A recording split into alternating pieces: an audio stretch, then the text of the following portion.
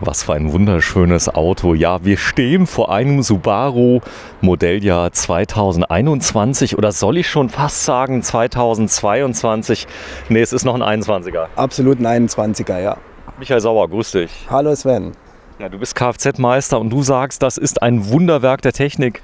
Wunderwerk der Technik, der Sicherheit und auch optisch hat er richtig was zu bieten. Ja, es ist gar nicht mehr so altbacken. Also du hast gar nicht mehr das Gefühl, als geht's die nächste Fahrt. Äh, äh, naja, ich sag's lieber nicht. nee, zum Friedhof, nee, Quatsch. Nee, das ist wirklich äh, schönes Sondermodell, das Subaru jetzt aufgelegt hat äh, vom Forester. Hat ähm, jede Menge äh, orangene Applikationen, hat äh, schwarzen Kühlergrill, äh, die schwarz abgesetzten Scheinwerfer und auch im Innenraum hat sich da einiges getan gegenüber so. dem Serienmodell. Ist das ein Mild-Hybrid? Ich zeige es mal gerade. Stimmt das? Ja, Mild-Hybrid. So, und das Ganze äußert sich dann dadurch, dass ähm, das Fahrzeug kombiniert 6,4 Liter hat. Es ist ein Benziner. Benziner, 2 Liter Hubraum, 150 PS. Und zusätzlich kommt noch der Mild-Hybrid Elektromotor dazu, der nochmal 66 Newtonmeter bringt und 16,5 PS. Es ist relativ leicht in der Klasse, wenn man bedenkt, dass es ein echter Allradantrieb ist. Ja, 1,75 Tonnen ungefähr wiegt das Fahrzeug, wie es hier steht.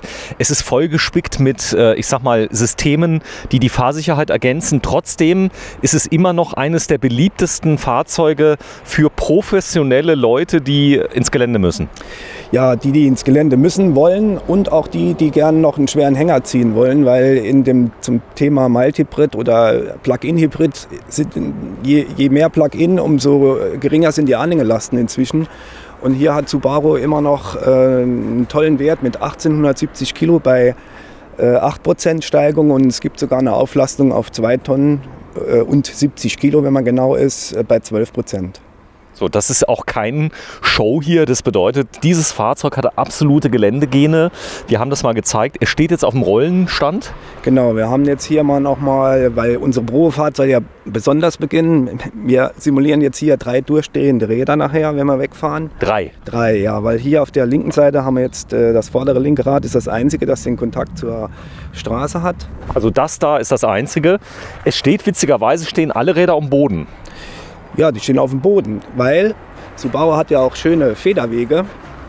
Äh, dadurch kann man halt die Räder, die ähm, sag ich mal, ausfedern müssen, jede Menge äh, Bodenfreiheit ausgleichen.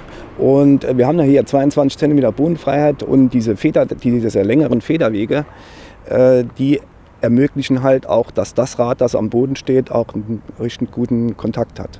So, jetzt werden einige Leute sagen, na ja, das ist ja ganz einfach, da steht ja noch ein Rad, steht ja noch auf dem Boden drauf, der muss ja rauskommen, weil es ist ja schließlich ein Vierradantrieb. Was ist die Herausforderung? Ich glaube, es geht um viel Technik äh, und Ausgleichdifferentiale. Ja, das ist jede Menge äh, Technik dahinter. Wir haben ja hier in Verbindung mit dem Automatikgetriebe einen Allradantrieb, der äh, die Kraftverteilung 60 zu 40 hat. Also vorne 60 und 40 und wenn die Räder sich durchdrehen, dann wird die Kraft halt bis zu 90 Prozent an, an das Rad geleitet, das ähm, noch äh, Kontakt zur Straße hat.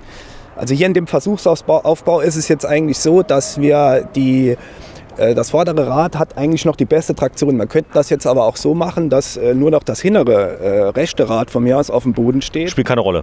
Auch dann schafft er das, weil unser X-Mode dieses Subaru ähm, Allradsystem nochmal verfeinert. Und da werden die Kräfte an den Rädern reduziert, die durchdrehen. Und äh, die Kräfte an dem Rad, das noch auf dem Boden steht, die werden halt erhöht. Und dadurch kommen wir halt aus jeder Situation raus, auch wenn nur ein Rad auf dem Boden steht. So, steig mal ein.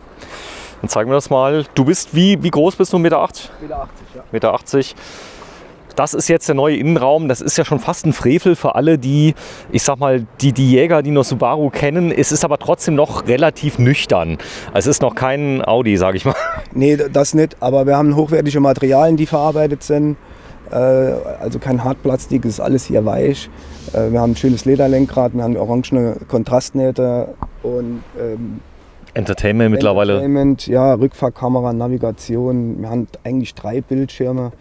Äh, wenn man so will, den einen vom Radio und Navigation, oben der Info-Display. Das zeigen wir gleich nochmal genau. Ja, und, und in der Mitte, in der Mitte gibt es auch noch ein kleines äh, äh für den Fahrer. Und ein Head-Up-Display.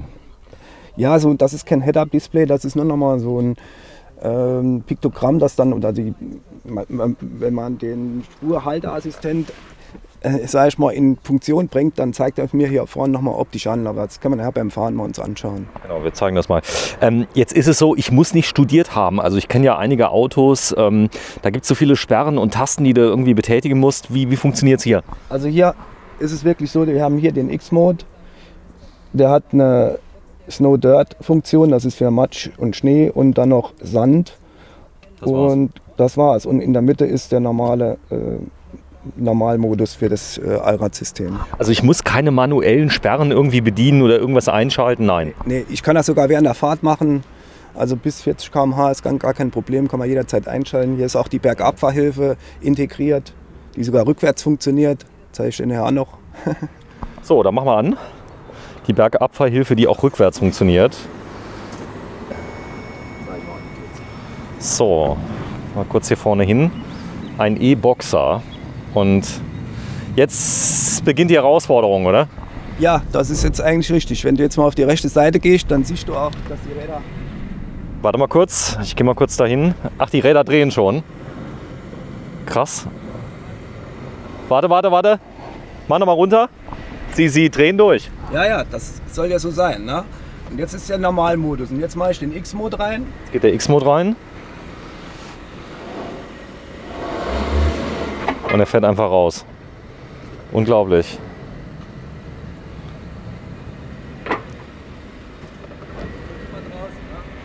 Genau, wenn du mal so lieb ist, noch mal reinfährst.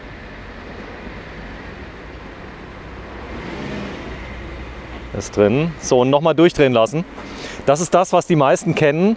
Es dreht jetzt auf allen Rädern durch. Bitte noch nicht jetzt nach vorne fahren.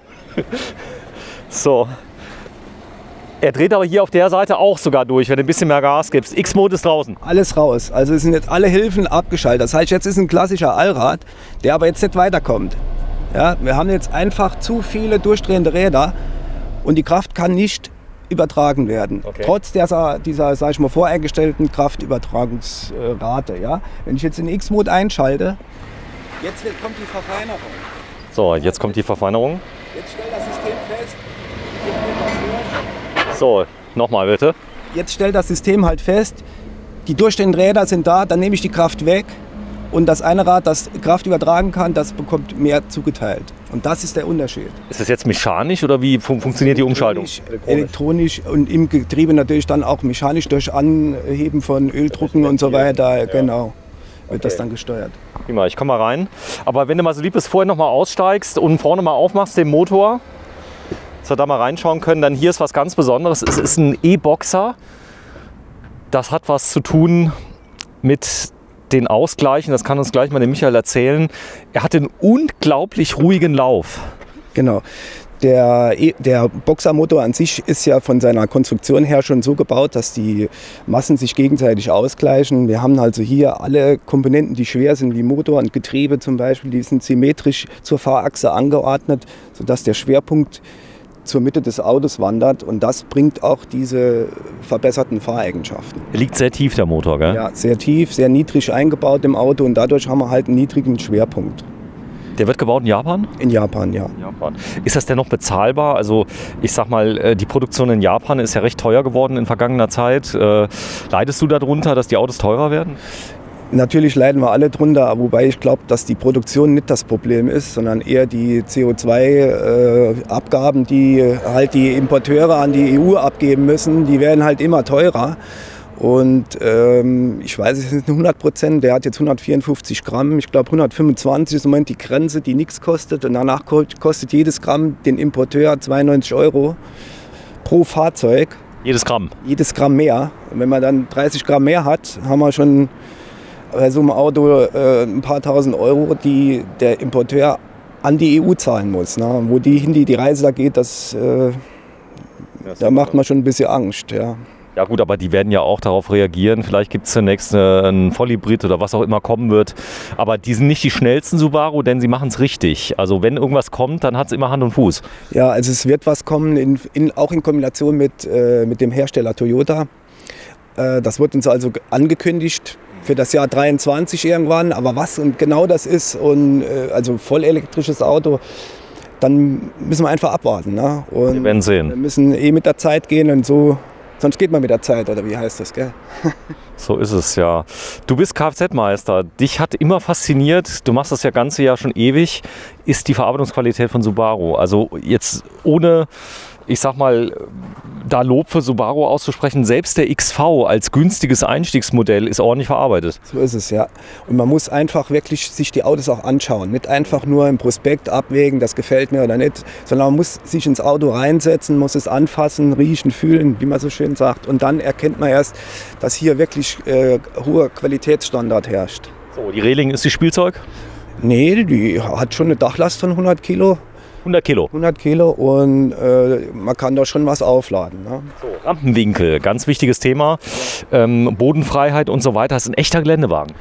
Ja, ist ein Geländewagen, also ein SUV mit Geländefahr-Eigenschaften. und äh, die Rampenwinkel kann ich Ihnen erklären, mal kurz zeigen. Hier haben wir ja so einen kleinen Berg, da, da sieht man schon mal, was da geht. So, wenn man einfach mal davor steht, sagt man, das geht nicht. Das, das geht aber ganz locker. Oh, zeig mal. Wenn du schon dabei bist, hinten, vorne machen wir später auf. Bisschen Probefahrt wollen wir noch mal zeigen. Der E-Boxer. Das Modell heißt Sport 40. Sport 40. Genau, das ist dieses Sondermodell Sport 40 für 40 Jahre Subaru in Deutschland. Dafür Genau. wurde das Sondermodell aufgelegt. Ihr feiert ja zufälligerweise gleich Geburtstag. Du bist auch gerade erst 40 geworden. Genau, ja, es ist kaum 18 Jahre her. So, er hat mal da vorne freigeräumt. Hier haben wir so eine typische Ecke, die wir schon missbraucht haben. Wir sind nämlich hier mitten an einem Felsen. Und der Michael meinte schon, selbst äh, das, was er jetzt zeigt, ist schon für viele Fahrzeuge ein Problem. Jetzt, jetzt, jetzt kommt das Thema Rampenwinkel halt vorne. Ne? Äh, Komme ich jetzt da hoch, ohne dass das Auto aufsetzt? Warte mal kurz, zeig's mal. Geht. Krass.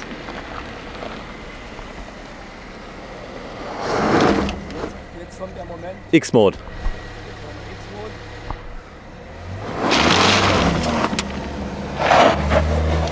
Einfach hochgefahren.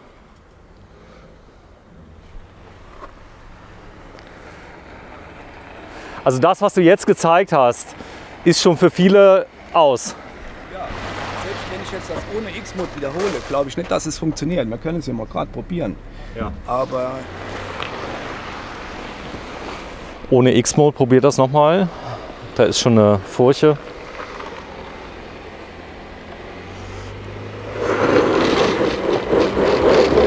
Das war's.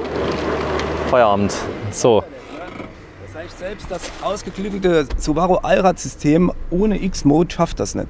Und das X-Mode ist wirklich eine, eine tolle Konstruktion, die die Ingenieure da geleistet haben. Und die unterscheidet uns von vielen anderen Allradantrieben einfach. Ne? so, mach mal. X-Mode. Ist das krass?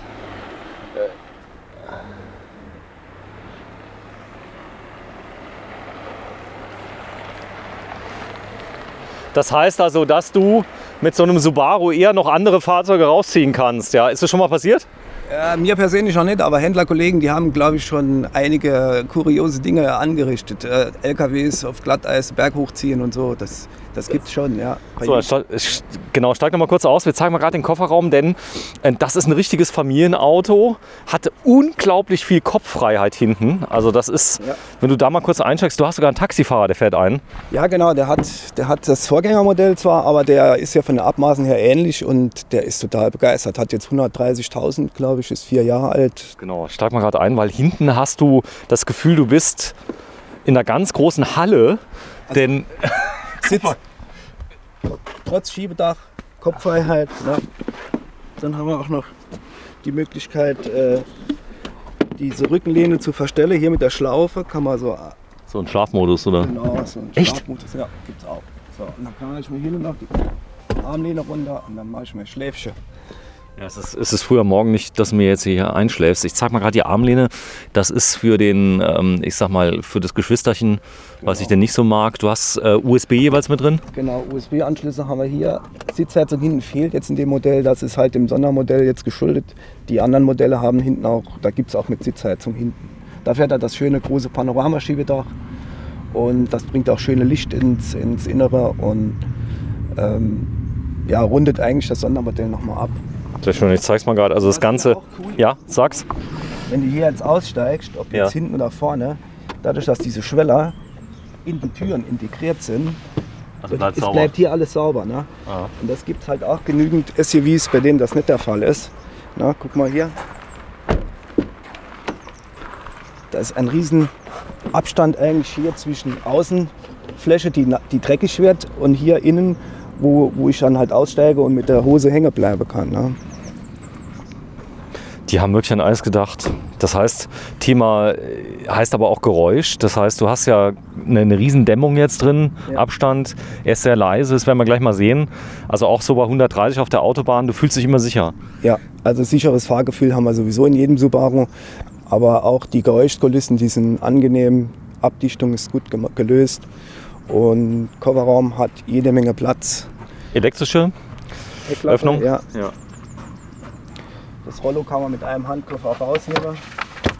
So Stützlast, kleines Detail, 80 Kilo hast du hier. Ja. Das heißt, du kannst also auch ordentlich E-Bikes draufpacken. Hinten auf die Kupplung. Nicht nur das, das Auto hat auch ein Anhängerstabilisierungsprogramm, so nenne ich es mal, auch über den X-Mode geregelt. Das heißt, äh, durch gezielte Bremseingriffe wird das Gespann stabilisiert. Ne? Und das ist äh, auch bei diesem Auto alles serienmäßig. Ist übrigens auch eine Anhängerkupplung verbaut. Sag mal. Sieht man gar nicht. Ja, die muss man halt äh, ranstecken. Ne? Ist das schwer? Oder? Nö, ich kann es dir ja gerade mal zeigen. Aber Subaru arbeitet jetzt auch an einer ausschwenkbaren, das äh, hätten wir auch schon mal gern gehabt. Ne? Ja gut, das geht aber schnell, oder? Einfach hier runter. Zack, und da ist sie dran. Hier klappe ich mir die Steckdose runter und dann bin ich bereit. Ja, mit dem Ring für Holland, der mit dabei ist. Jetzt hast du auch nur ganz dezent nur ein Auspuffrohr. Das ist ja kein, kein, kein Sporthirsch, oder? Genau, also hier diese Ausbuchtung ist zwar so angedeutet, ist aber leider den Motorisierungen für Amerika vorbehalten, dem XT Turbo halt. Den gibt es halt dort mit 240 PS. Das wäre natürlich was für uns, aber auch hier CO2-Thema äh, wird es bei uns leider nicht geben. Der, der hat das wie viel Power? Der hat jetzt 150 PS, 2 Liter. Newtonmeter, was kann er? Äh, 194 Newtonmeter plus die 66 Newtonmeter vom Elektromotor.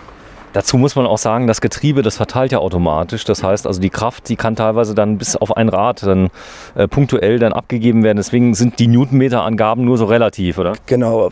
Außerdem haben wir ja ein stufenloses Getriebe, was durch die Spreizung halt auch eine variable äh, Übersetzung, sag ich mal, anbietet und so dass man auch in der Fahrsituation steiler Bergs, wie es äh, eben simuliert war, oder Hängerbetrieb, halt mal recht kurze Übersetzung anbieten kann. So, es gibt ja keinen Siebensitzer, oder? Nee. Nur fünf Sitze. Gut, was heißt nur fünf? Passt doch, ja. So, wenn du die nochmal kurz hinten abnimmst, die Kupplung. Nicht, dass wir gleich den Schlüssel auf der Straße verlieren. Hat funktioniert. So, der hat sogar Rundumkamera, also Sicht von oben. Nee, Sicht von oben gibt es bei uns nicht. Nee. Wir, haben, wir haben eine Heckkamera und wir haben eine Seitenkamera im Spiegel. Ja.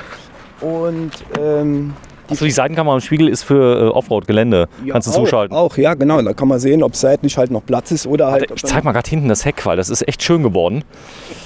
Ja, also auch hier diese, klar, jetzt das Auto in weiß, dann sticht das Schwarze schön raus. Und die ähm, orangen äh, Applikationen ziehen sich halt ums Auto rum. Schon stimmig. Auch die schwarzen Felgen passen schön dazu. Ist es ist gar nicht mehr so das Rentnerauto, oder? Nee, also der nicht. Wenn jetzt hier mal rumschwenkst, hier steht der normale. Das, da, gut, das war auch noch kein Rentnerauto, muss man sagen. Das ist das gleiche Modell, das aktuelle Modell, Ja. nur als ähm, Normalversion, nicht als Sondermodell.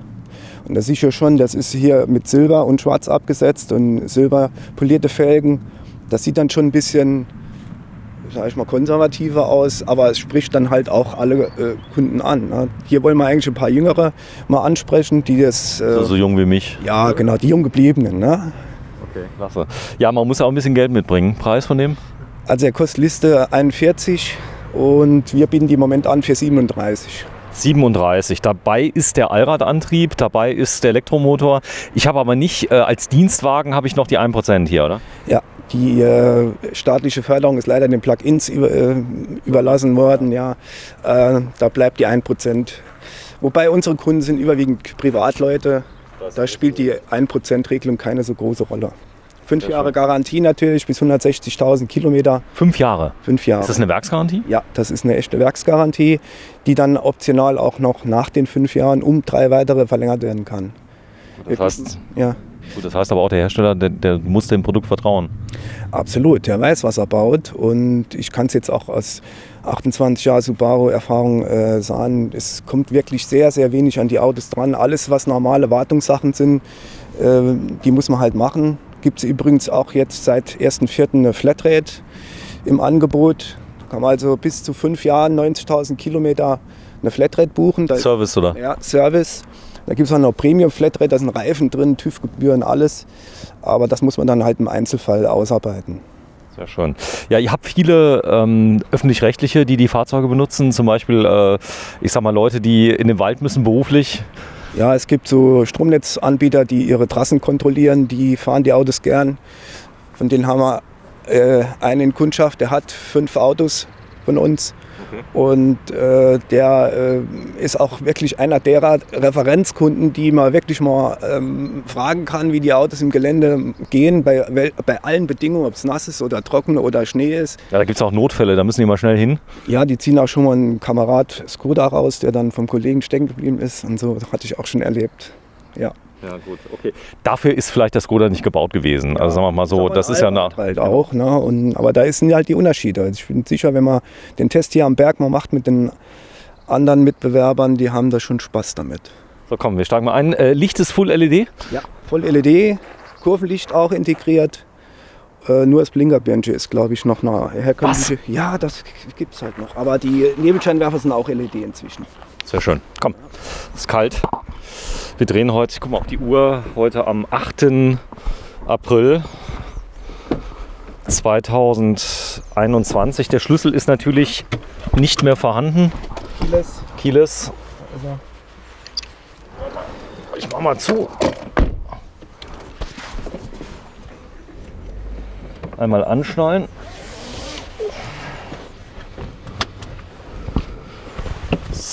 So, das ist jetzt die Rückfahrkamera. Man sieht sogar mehrere Bildschirme auf einmal. Einmal hier oben siehst du die Seite. Das ist der Seitenbildschirm, den ich eben angesprochen habe. Der sitzt im rechten Außenspiegel und man sieht auch oben symbolisch, welchen Bereich der jetzt ausleuchtet sozusagen. Und äh, hier ist die klassische Rückfahrkamera, die halt auch mit so orangenen Linien anzeigt, wo man rauskommt, wenn man den Lenkeinschlag halt entsprechend Ah ja, okay. betreibt. Ne? Schön. So, Du, du hörst fast gar nichts. Das ist schon frech. Gebläse, das Gebläse hört Das man. Gebläse. ist es kein Elektroauto jetzt im Moment? Oder der fährt jetzt rein elektrisch? Nee, im Moment fahren wir ähm, mit dem Verbrenner. Mhm. Sieht man jetzt hier oben schön. Verbrenner ist äh, orange abgebildet und äh, rechts dieses blaue Feld, das ist der aktuelle Ladezustand äh, der Batterie, der ist relativ niedrig. Aber das geht jetzt beim Fahren relativ flott, auch wenn ich jetzt ein bisschen mehr beschleunige, dann kommt halt auch der Elektromotor dazu und unterstützt. Jetzt haben wir Ladezust äh, Ladevorgang im Schiebebetrieb. Und ähm, ja, ab einer gewissen Motortemperatur und gewissen Parametern fährt er dann auch im Schiebebetrieb elektrisch bis zu anderthalb Kilometer und 40 km/h schnell. So, du hast dir was ausgeguckt, wo wir hinfahren können? Ja, wir fahren jetzt mal ein äh, bisschen ein Stück auf die Autobahn. Zeige ich mal nochmal die Assistenten. Haben wir auch ein Stück im Gelände? Ja, Parat. kleines, kleines Stück haben wir noch im Gelände. Ähm, jetzt ist er gerade in den E-Betrieb umgesprungen. Siehst du hier steht jetzt, jetzt ist er aus, alles aus. Wir stehen ja EV-Betrieb, Drehzahlmesser auf Null. Das ist halt so Start-Stopp jetzt. Wenn ich jetzt losrolle, dann sieht man hier, jetzt gibt Elektrisch. er elektrisch äh, die Kraft. Es geht ja, geht ja um die Hauptenergie. Guck mal, guck mal, da vorne ist ein T3. ja. Ich habe auch noch einen. Du weißt, das letzte Mal bei unserem Video, da war ein T3 für uns. Weißt du das noch? Ein roter. Ich liebe T3. Das sind äh, etwas andere Technik. Vorwärtsfahren brennt der Rückfahrscheinwerfer. Da ist der Rückfahrscheinwerfer. Ach Scheiße. so, ja, gut. Ist ja nicht so schlimm, oder? Ja, und TÜV ist auch fällig. Naja, gut. Sieht man das direkt als Auto Ja, das sieht man direkt am blauen Stempel, der war aus 12, 20 war der fällig. Ja. Na herrlich, jetzt kann ich das Kennzeichen noch pixeln. Dankeschön. Ah, Entschuldigung. Totwinkelassistent. Ja. Wo? Jetzt- Ach so, Jetzt gelb. Er, ja, warnt mich, da kommt einer. Aber richtig schön hell. Ja. Und äh, dann gibt es noch den, ähm, inzwischen haben wir sogar noch einen Kollisionswarner. Wenn jetzt zum Beispiel von hinten äh, einer sich nähert, ich bin jetzt vielleicht ein bisschen zu weit links und dann verhindert der auch durch einen gezielten Lenkeingriff, ähm, dass ich jetzt die Fahrspur wechsle. Ich habe gesehen, es gibt äh, bei einem amerikanischen Elektroautohersteller, ich will keinen Namen nennen, mit fünf Buchstaben, ähm, der hatte so ein praktisch äh, Assistenzsystem, der stand und da kam einer von hinten ganz schnell, der ist dann nach vorne gefahren, weil er Platz hatte. Ah, das, das schafft er noch nicht. Also das äh, ist natürlich noch die Steigerung. Aber jetzt haben wir hier unseren adaptiven Tempomat mal eingeschaltet. Na, hier ist es symbolisch mal dargestellt. Er hat jetzt den Vordermann erfasst. Ich habe hier eine Maximalgeschwindigkeit von 80 eingestellt, hier unten. Das Ja. mache ich über diesen kleinen Schalter hier. Ja. Und wir fahren aber nur 68. Also ich zeig mal grad. Also der hat einen Radar drin und äh, misst. Nein, nein, kein Radar. Das sind unsere Kameras hier vorne, diese EyeSight-Stereo-Kameras, äh, die dreidimensional das Bild hier vor uns erfassen und entsprechend den Tempomat bedienen. Jetzt kommt hier einer vor uns, jetzt wird er auch gleich Erkannt. den als Bezugslinie erkennen und dann fahren wir hinter dem her. Problem bei mir ist, ich habe einen neuen Iveco ähm, LKW mit Radar. Ja. Das Radar fällt die ganze Zeit aus, weil im Winter immer die Salzkruste vorne auf dem Radarsensor war. Ja. So, das heißt, ich musste aussteigen, wieder abwischen. Äh, Es ging dann am Schluss relativ gut. Jetzt im Sommer hast du kein Problem, aber hier durch den Scheibenwischer wird ja die Allzeitkamera diesmal gereinigt, oder? Ja, der, die Kameras sitzen ja innen. Ja. Die werden also überhaupt gar nicht mit der äußeren äh, Nein, ich meine es ist außen die Scheibe, die Scheibe, durchguckt. ja klar, der geht der Wischer drüber. Natürlich, wenn die stark verschmutzt ist oder du hast mal wirklich Schneeregen oder äh, Platzregen oder so, dann muss man sich so vorstellen, dann sieht die Kamera auch nur so gut, wie wenn deine Brille beschlagen ist. Und dann äh, steigt das System auch irgendwann aus. Ne? Und sagt, es geht immer. Sagt aber auch. Spurhalteassistent ist jetzt auch aktiv ab 60, Automatisch. automatisch, sobald er Bezugslinie hat. Und jetzt fahren wir natürlich wieder ein bisschen langsamer, jetzt ist er wieder weg. Aber das funktioniert prima auch mit einem ganz zarten Lenkeingriff. Und äh, da muss man wirklich sagen, das Eyesight-System ist inzwischen auf dem Stand, das schon richtig toll ist. Aber ich kündige dir jetzt schon an, der neue Outback, der kommt jetzt im Mai, der wird es noch besser haben. Ne? Und da machen wir ein neues Video und dann Ich habe gedacht, du, du willst. Stufe. Ich, ich habe gedacht, du willst ihn hier noch verkaufen. Natürlich, das ist ja ein Forester, das ist ja ein völlig anderes Modell. Ach so, das ist ein Forester. zu tun. Aktueller Forester hat ja auch Augen, ähm, Müdigkeitserkennung. Äh, Im Forester ist hier schon serienmäßig drin. Ja, die ist schon dreimal angeschlagen bei dir. Genau. Weil du ein müder Typ bist. Genau. Mal kurz mal gucken hier unten rein. Also das mit dem Display hier oben, das gefällt mir schon gut. Hier unten, da hat sich viel verändert. Äh, Display ganz hochauflösend.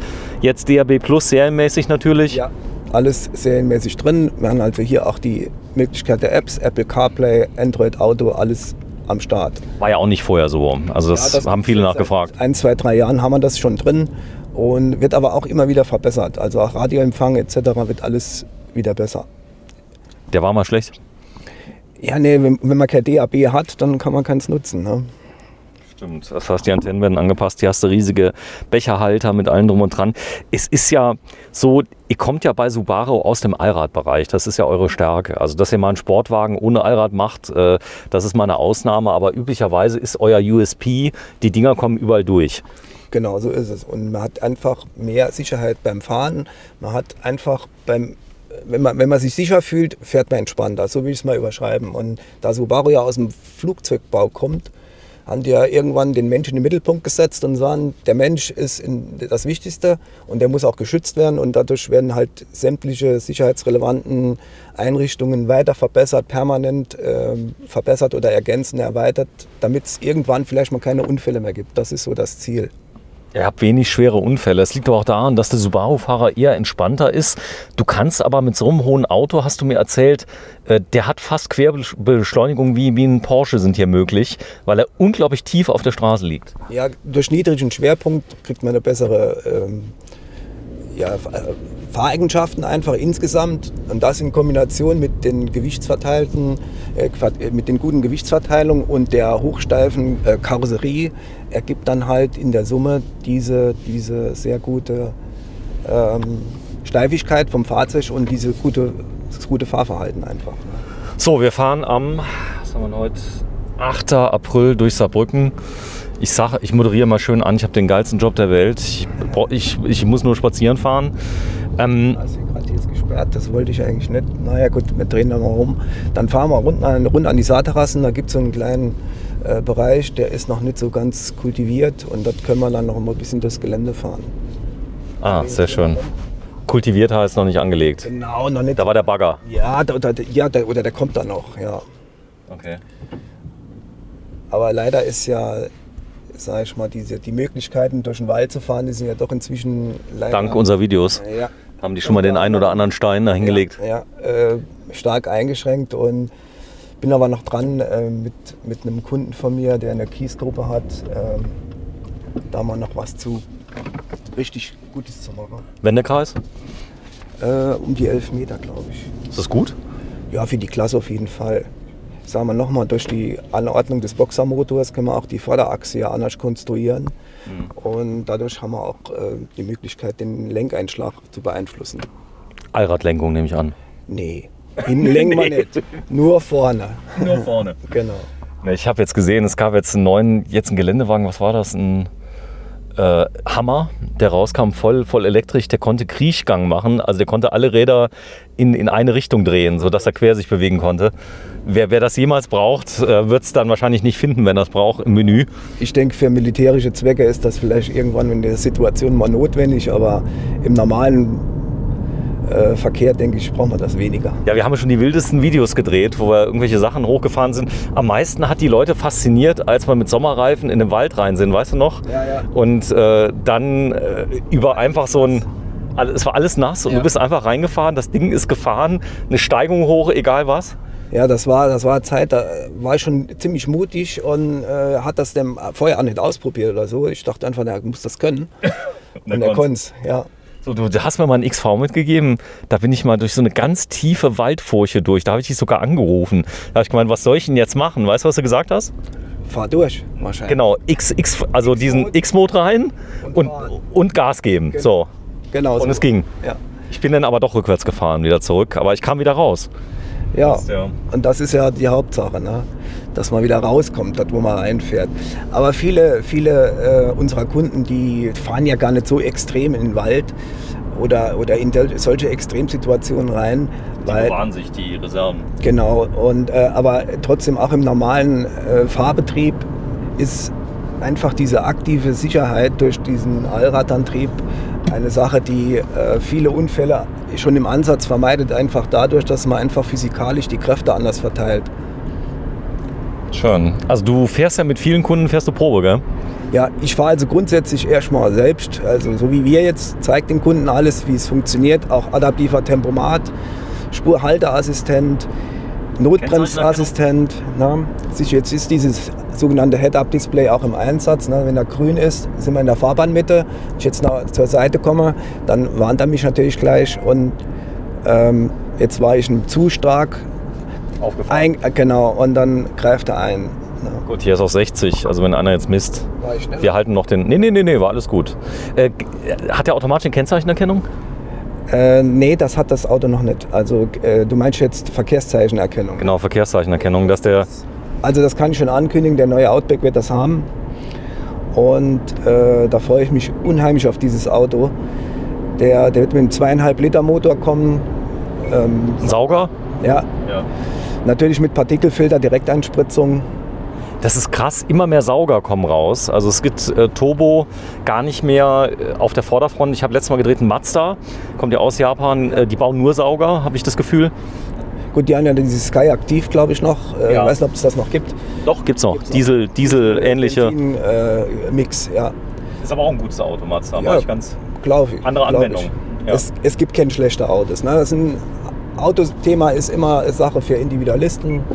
Und unser Subaru ist ein Nischenprodukt und wir unterscheiden uns von allen anderen durch viele, viele Kleinigkeiten. Und das ist einfach äh, eine feine Marke, die mir Spaß macht. Wetterhalt? Sehr gut. Also wirklich guck mal, äh, der, der XV hat jetzt gerade nochmal im, und, und Forester auch im äh, Restwert Bewertung erste Plätze bewegt. Also ich glaube unter den ersten drei sind die, was die Wertstabilität angeht. Na? Mitsubishi hatte ja mal ein ganz äh, tolles Auto, was es nicht mehr gibt. Alle heulen danach. Äh, könnte das im Subaru auch mal passieren, dass äh, ihr so ein Kultauto einmal nicht mehr habt? Ja gut, ein Kultauto haben wir ja schon verloren, den im WRX STI. Ne? Der ist ja. Ja. schon der CO2-Geschichte zum Opfer gefallen. Ähm, wenn der Forester mal weg wäre, das wäre natürlich Katastrophe, ganz klar. Ja. Also du meinst wahrscheinlich Pajero oder so, ne? genau, Ja. Habe ich Das kürzlich noch einen in Zahlung genommen ne, aus 1996. Auch unglaublich gefragt, ja. Die sind, Ja. Also du kriegst ja keine Bajeros mehr. Aber der war fertig, der war einfach durchgerostet und äh, Gut, wie, wie, wie alt war 96 aber ja, also er? Ja gut, es passiert, je nachdem, wie er darauf Acht gegeben hat. 20 Jahre, äh, hat noch gar nicht so viel Kilometer, aber die, selbst die dicken Leiterrahmen war komplett durchgerostet. Also wenn man da Anhänger dranhängt, fällt hin das Chassis ab. Gut, das kann passieren, aber es hängt ja auch davon ab, wie derjenige das behandelt hat, das Auto. Also du, du kannst ja, wenn du das vorher weißt, es gibt zum Beispiel Wachs, äh, du kannst das Auto nochmal extra behandeln mit allem drum und dran. Das macht ihr ab und zu auch sogar. Ja, das gibt es auch schon mal. Die Autos werden natürlich, wenn sie nach Europa kommen, schon mal extra nochmal konserviert in Rotterdam.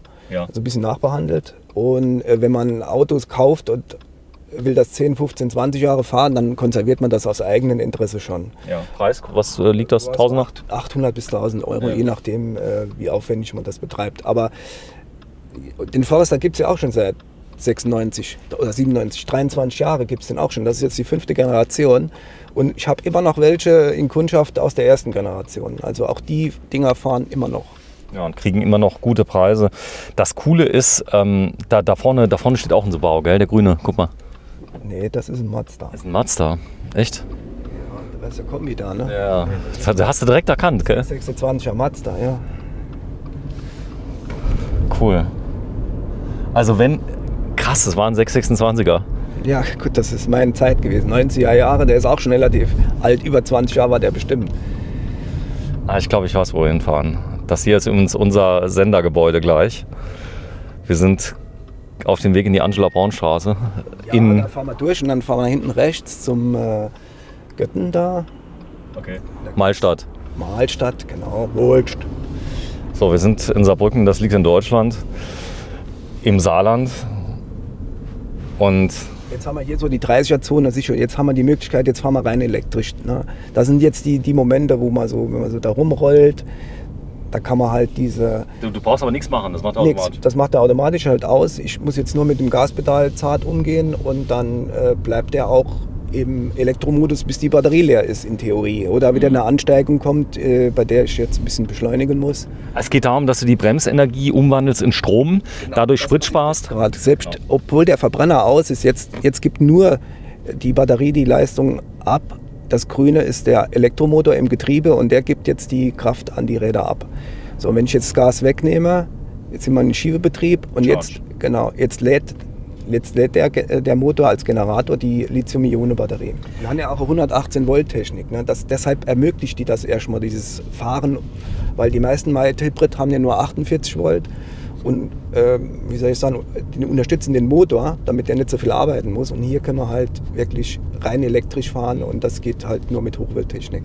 Der Motor sitzt im Getriebe. Dieser Elektromotor sitzt im Getriebegehäuse, ja. So, jetzt da bei uns hier German Television. Für alle, die es noch nicht gesehen haben, gucken wir gleich mal auf der Rückfahrt. Da ist unser Headquarter. Ja, So, und wir sind jetzt in Molst im Gewerbegebiet. Du, du hast dir vorher was ausgeguckt. ja ich war da gestern Abend mal hingefahren, weil ich schon länger nicht mehr hier war. Und ich habe da was in Erinnerung, da war ich mit meinem Hund spazieren. Da kann man hier, Hat sich auch viel verändert, oder? ja, da, da kommt auch einer mit dem Hund. Na, jetzt fahren wir hier mal so ein bisschen in diese Richtung. Aha. und wollen natürlich niemand erschrecken. Die Kultivierung. So. Was hast du denn vor? Wir Ah, da vorne ist ein Berg. Wir fahren da jetzt mal gleich so ein, ähm, ähnlich wie eben, aber so jetzt einfach mal aus der Fahrt raus, wenn man mal so in die Situation reinkäme, wie man damit umgehen kann. Na, und dann kann man halt, ähm, ich fahre jetzt mal hier, das ist jetzt noch einfach. Aber jetzt sagen wir, oh Gott, ich habe mich verfahren, was mache ich jetzt? Na, und dann fahre ich hier so los und dann Du, du bist mal gerade eben über was gefahren, wo ich erstmal siebenmal geguckt hätte, ob ich nicht aufsetze. Ja, genau. Und dann kommt irgendwann, sage ich jetzt theoretisch, jetzt stellen wir uns einfach vor, ein Hase, guck mal, wie süß. Jetzt sagen wir einfach mal hier wäre eine Schranke, was mache ich denn jetzt? Ja. Dann sage ich, ich fahre einfach jetzt mal hier rechts hoch. Und dann fahre ich halt hier so hoch. Quatsch. Warte, ich steig mal aus. Äh, das geht aber nicht rückwärts, oder? Geht auch rückwärts. Warte, warte, warte, warte, warte. Ich steig mal aus. Jetzt ist wieder mal der Moment gekommen. So, das ist praktisch mein Bild rückwärts. Warte. Ein unkultiviertes Gelände.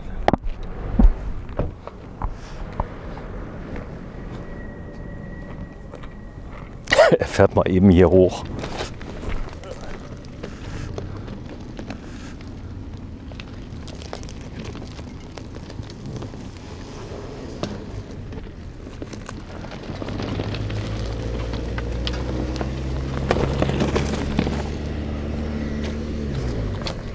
So, und nochmal bitte.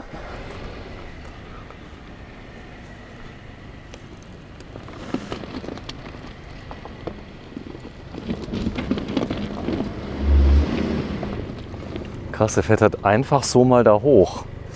Das ist äh, interessant.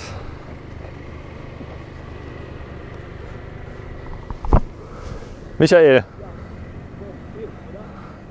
ich mag das immer, wenn du so, ähm, genau, wenn du mal gerade so lieb bist, da mal runtergehst und dich einfach mal dahin stellst, dass man mal sieht, wie hoch das war. So, das ist jetzt auf der Ebene. Also es geht schon hier hoch und vor allem das Lose, Glaschotter.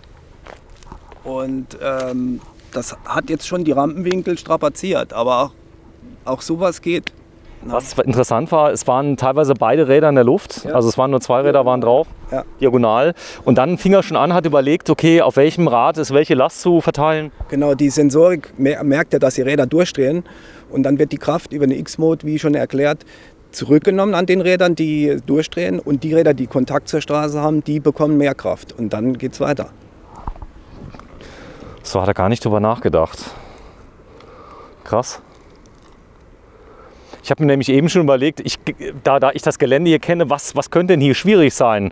Aber wenn du hier mal so quer rüberfährst, Jetzt, jetzt guckt ihr an, das ist, das ist schon ein bisschen äh, Winkel. Ne? Klar, man hätte das jetzt noch ein bisschen aus äh, ähm, äh, ja, vorbereiten können, indem man das vielleicht noch ein bisschen höher macht oder ein bisschen länger schräg fährt. Aber das war jetzt auf die Schnelle das, was, mal, was ich mal gefunden habe. Und äh, ich hoffe, dass wir in Zukunft mal in irgendeiner Kiesgrube mal ein bisschen mehr machen können. Ne? ich war ja vor kurzem in einer Kiesgrube mit einem Unimog und einem, ähm, äh, einem Mercedes-Benz, eine 4x4 mit Serienallrad. Und die haben Grenzen, weil die haben, glaube ich, nur eine Sperre drin. Und irgendwo, der Unimog hat natürlich alle Sperren der Welt. Der kommt überall durch. Ja. Aber das ist schon so ein kleiner Unimog, oder? Das heißt, man kann auch etwas andere Reifen drauf machen. Ja. BF, BF Goodrich geht? Genau, genau. Es gibt äh, Kunden, die, die fahren äh, gern den grobstolligen, die wirklich viel ins Revier fahren und so. Aber im Prinzip haben wir ja hier ein SUV für, für jeden.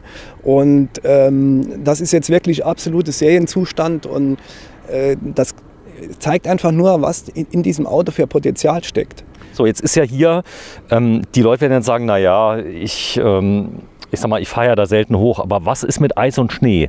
Das ist ja oft ein Argument, dass Leute sagen, okay, im Winter, ich bin zum Beispiel, du kennst das in Alsting, da gibt es viele Kollegen, äh, die brauchen dann im Winter spezielle Autos, weil es sehr steil hochgeht. Genau, und ich sag mal, jeder hat ja seinen eigenen Bereich, wenn er ein bisschen außerhalb wohnt, wo es halt nicht gleich gestreut ist. Und gerade wenn es glatt ist, wenn es äh, nasser, batschiger Untergrund ist, und dann wirkt das System ja genauso.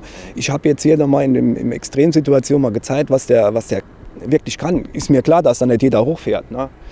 auf die Idee kommt. Aber manchmal kommt man in Verlegenheit und dann hat man einfach einen, einen zuverlässigen Allradantrieb, der einen überall hinbringt. Sehr schön. So, komm, wir machen einen Cut. Du bist von der Firma Auto Sauer, du heißt Sauer, du bist Michael Sauer, ist das Zufall? Ich bin Michael Sauer schon seit 58 Jahren. Genau, Und du, du hast das selbst gegründet, das Unternehmen? Ja, mein Vater hatte vorher eine Tankstelle an der gleichen Stelle, aber ich habe das 1990 übernommen und habe dann äh, seit 93 mache ich Subaru und bin absoluter Bekenner dieser Marke. Ja, Leute kommen von ganz Deutschland zu dir durch die Videos, weil die irgendwie das Gefühl haben, dass du die Marke doch ein bisschen liebst. Ja, das ist wirklich so. Also wir haben äh, bis Halle an der Saale haben wir Autos verkauft. Äh, jetzt kürzlich nochmal nach Dortmund ein Arzt, der hat mich vorher gar nicht gesehen. Und äh, trotzdem, wenn die Menschen dann bei mir sind und. Er hat schon ein Video gesehen. Ja, ja klar, aber persönlich noch nicht gekannt. Und als er dann bei mir war, dann haben wir uns richtig gut unterhalten und es war äh, tolle Chemie und das gehört einfach für mich zum Autokauf dazu. Ja, ist aber auch jetzt blöd, wenn, äh, ich sag mal, du die Autos verkaufst, die landen in einem Service woanders. Du verdienst ja auch viel Geld mit dem Service. Ja, mit dem Service verdient man natürlich auch sein Geld, aber mir macht es auch Spaß, die Autos zu verkaufen und vor allem die Menschen, die noch keinen Subaru haben, dazu zu bringen, einen zu kaufen. Ne? Und äh, ich habe auch von Händlerkollegen schon gehört, die sagen, sauer, deine Videos, die sind so gut, äh, dadurch habe ich drei Autos verkauft. Ne? Ja, toll. Ja, äh, ist toll, aber ist für die Marke gut und das ist für mich halt auch äh, ein Zugewinn und dann mache ich das gern für die Kollegen mit. So ist es. Also, wenn ich ab und zu mal mich da entsprechend lustig mache darüber, dass ich sage, das waren mal so ein bisschen so ein Rentner, ähm, ich sag mal, äh, Image, den er gehabt hat. Das ist nur was für alte Männer. Ähm, das ist großer Käse. Man muss nur mal in die YouTube-Videos nach Amerika gucken, was die mit dem XV mittlerweile machen, dass die da nicht noch, äh, ich sag mal, Ketten drauf machen. Oder ich glaube, es gibt sogar einen mit Ketten. Das weiß ich, habe ich noch nicht gesehen, aber äh, da gibt es auf jeden Fall wesentlich mehr äh, spektakuläre Dinge wie noch bei uns. So, Michael Sauer, 9. April 2021, mitten in dieser Zeit. Äh, trotzdem, wenn Sie Interesse haben, das ist jetzt ein Fahrzeug, wo ich bei den Eigenschaften schon gedacht hätte, der liegt vielleicht bei 50 oder 60. Nein, sie liegen deutlich unter 40, brutto inklusive Steuer. Genau, Einstieg beim Trend ist sogar bei 30,5 etwa im Moment mit unseren Aktionen, die im Moment noch laufen bis zum 30.06. Und ich würde mich freuen, äh, wenn ich eine Anfrage bekomme von euch. Und wenn ihr noch Fragen habt, ihr dürft gerne Mail schreiben. Ich beantworte auch technische Fragen sehr gerne. Und ähm, ja, freue mich. Mail ist wie? Info at subaru-sauer.de. So, ich zeig's mal gerade. Also Auto Sauer, einfach nur googeln, Auto Sauer Saarbrücken. Auto Sauer gibt es wahrscheinlich mehrere. Michael Sauer ist der Name. Und, oder einfach eingeben Subaru äh, Saarbrücken. Sauer. Subaru und Sauer, weil die subaru-sauer.de, die ist auch unsere Homepage. Von daher findet man uns das sicher. Da gibt es auch einen Link zum Kontakt. Ist praktisch, ja? Super. Tschüss, danke. Tschüss.